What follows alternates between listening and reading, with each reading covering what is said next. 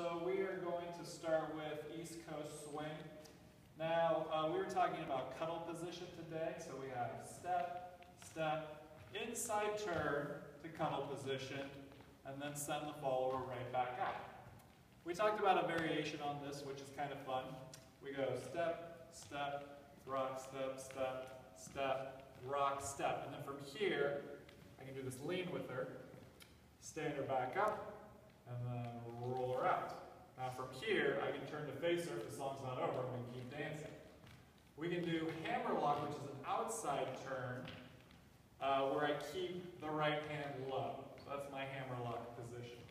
All right? You can just keep turning. Uh-huh, into, I'm gonna cut. into cuddle, yep. Mhm. Yep. So if we were to do outside turn, bump, bump, rock, step. Then we can transition between the two of those. Um, we talked about how to do those in salsa as well.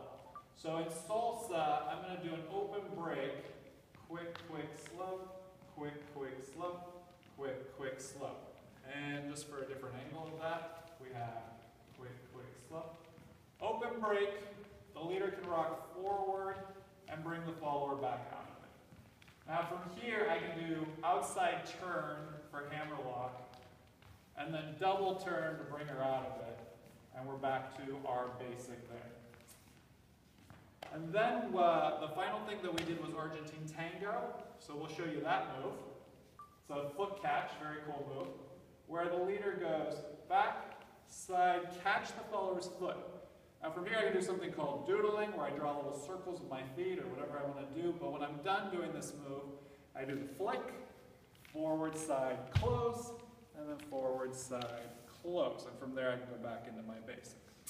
So that was our class, and thank you guys very much for coming.